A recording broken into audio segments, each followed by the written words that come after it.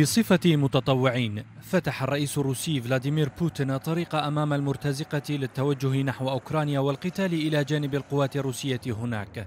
أما أعدادهم فيقول وزير دفاع بوتين إنها تتجاوز 16 ألفاً.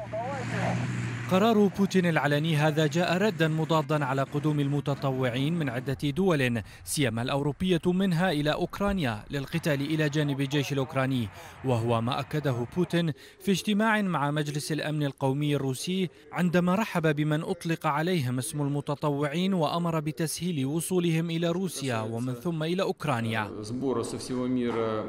فيما يخص النقاش الذي يدور حاليا في العالم حول إرسال متطوعين للقتال في أوكرانيا نحن نرى أن داعمي النظام الأوكراني في الغرب لا يخفون نيتهم في ذلك ويفعلونه في العلن.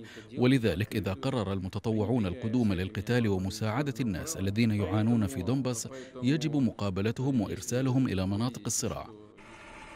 في ذات الاجتماع أعرب بوتين عن موافقته ودعمه لاقتراح تقدم به وزير الدفاع الروسي سيرجي شويغو بنقل أسلحة إلى دونباس الأوكرانية وإمداد الانفصاليين المدعومين من موسكو بأنظمة صاروخية تم الاستيلاء عليها مؤخرا كغنائم من الجيش الأوكراني.